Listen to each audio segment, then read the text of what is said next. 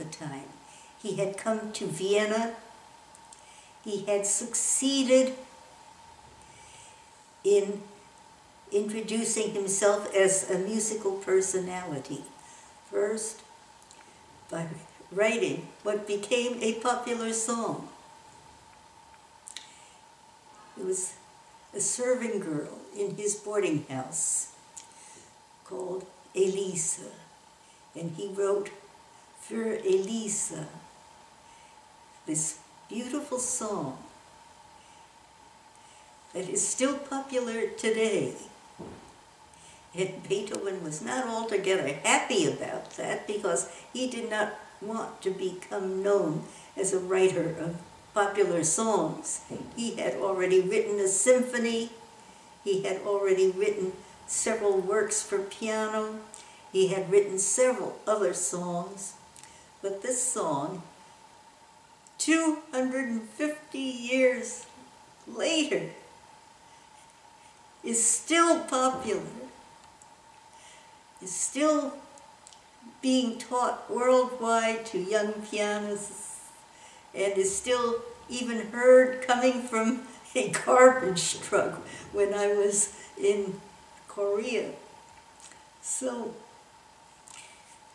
a good song is alive always. And Beethoven was just beginning to emerge from a composer of short pieces for piano and short quartets to the point where Prince Lichnowsky befriended him. Now, Beethoven was a great musician. He had a thousand ideas that were musical, that were wonderful but no idea at all about money or about social activity. He was delighted that the prince enrolled him into a club. And in this club, there was a gentleman named Joseph von Sonnenfels.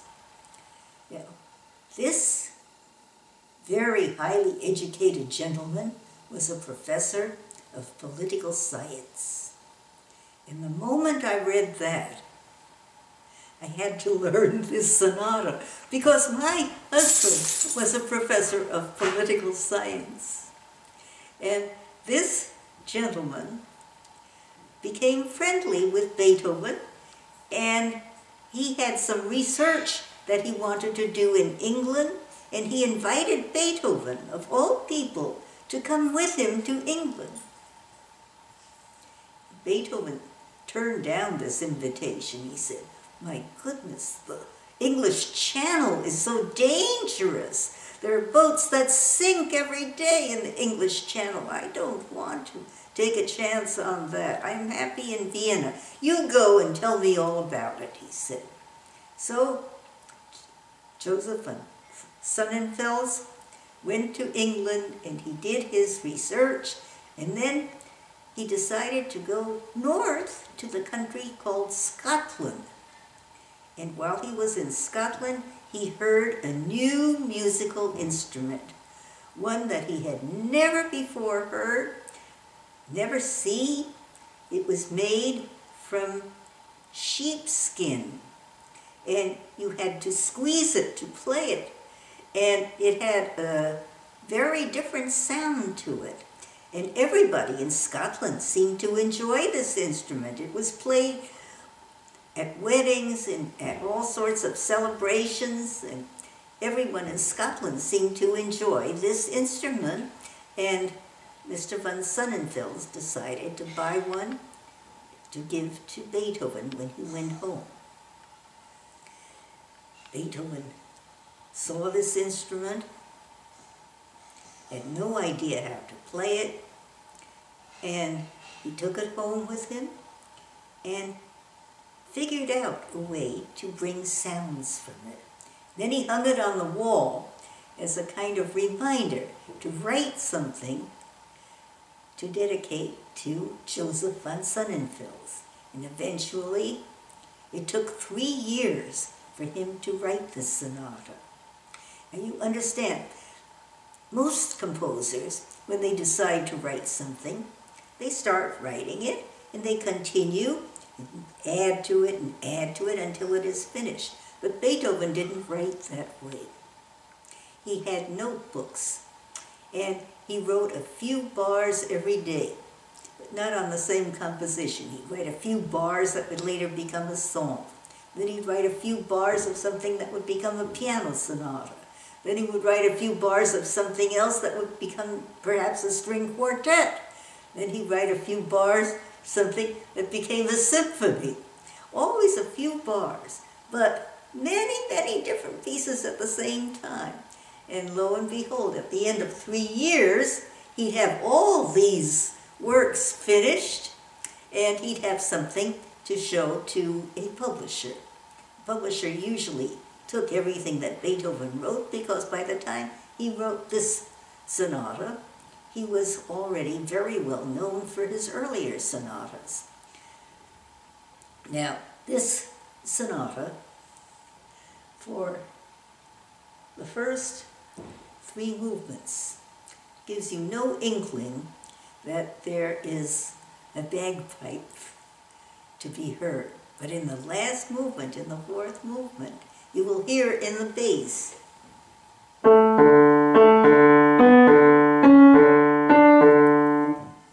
something that you will recognize as the sound of the bagpipe. Now, in this sonata also, Beethoven does something very, very interesting that uh, is unique to his work.